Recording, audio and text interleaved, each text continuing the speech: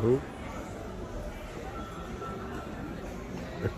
Oh, I must play, good. I must play, with attitude. Uh, we know it's a difficult match because it's the, the first. Because Komarno, Slovakian team is uh, very good because inside the, they have a lot of uh, experienced player, and I know very well because uh, also in the past I'm coach of uh, Slovakian national team. So uh, I, I expect we increase our level.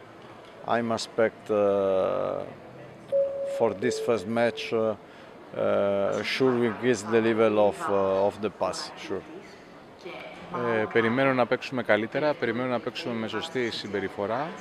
Ε, είναι ένα δύσκολο παιχνίδι, γιατί είναι το πρώτο παιχνίδι για την Ευρώπη. Όπως επίσης το Κομάρνο είναι μια ποιοτική ομάδα. Τους γνωρίζω γιατί στο παρελθόν από την Εθνική Σλοβακία έχω δουλέψει μερικά από αυτά τα παιδιά.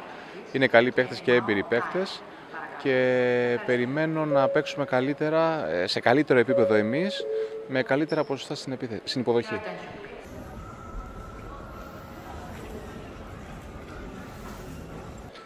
Ε, αρχικά είμαστε πάρα πολύ χαρούμενοι που ξεκινάει ακόμα ένα στόχο του Ολυμπιακού και της ομάδας.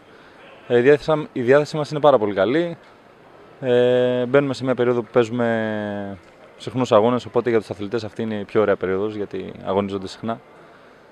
Τώρα οι στόχοι είναι γνωστοί, έτσι. Οι στόχοι είναι να φτάσουμε όσο πιο μακριά μπορούμε και αυτό το μακριά θέλουμε να είναι το τέλος του δρόμου.